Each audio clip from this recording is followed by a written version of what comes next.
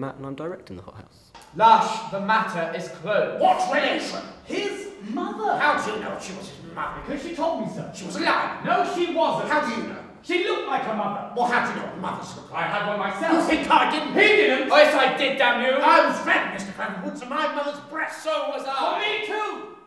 Well, what about it? It's my favourite play. Um, it's the best play I've ever read. It's the best play I've ever seen, um, and I really wanted to do it here on this stage because it was it's a challenge, which is exciting. The interrogation room, definitely. We've got a separate area of the stage. You see a sexy bit of it Um, behind us, just there under the red light. Um, go on. It's supposed to be completely soundproofed, and a lot of nasty things happen in there. Um, it's a secret room, um, so I think it's a massive part of the play. It's very important. It's very different, Mm. and um, yeah, that's why you should come and see it. Hi, I'm Jack and I'm playing Lamb. I'm Jess and I play Tubb. I'm Becca and I'm playing Lobb. I'm Rosanna and I'm playing Miss Cutts. I'm Sam and I'm playing Lush. I'm James and I'm playing Gibbs. I'm Tom and I'm playing Roote. After your day's work, do you ever feel tired, edgy, Fretted. irritable, At a loose end. morbid, Frustrated. morose, Unable to concentrate. unable to sleep, Unable to eat. unable to remain seated? Unable to stand up. It's That's about the the staff of a mental institution.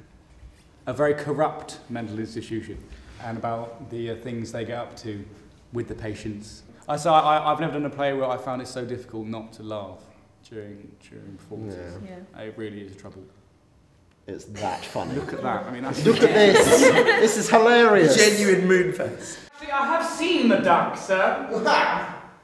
What's it like? It's a dead duck, sir. Dead? Oh yes, quite dead. Good God, I don't know it was dead. Yes, as dead as patient 6457, if not deader. I hope.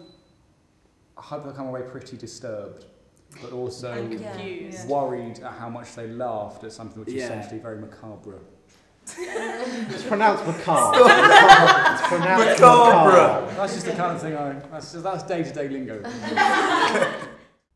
Are you alright up there? You haven't finished your questions, have you? I'm ready whenever you are.